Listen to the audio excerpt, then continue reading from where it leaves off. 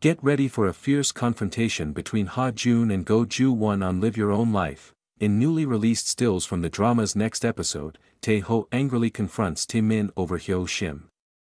As Tae Ho glares accusingly at Tae Min, his cousin looks just as enraged, and neither man seems willing to stand down, the production team teased, although Hyo Shim informed him that she doesn't think she can be his girlfriend, Tae Ho isn't about to back down.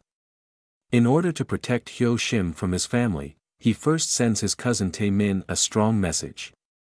They went on, please stay tuned to find out how the conflict between the two cousins will unfold.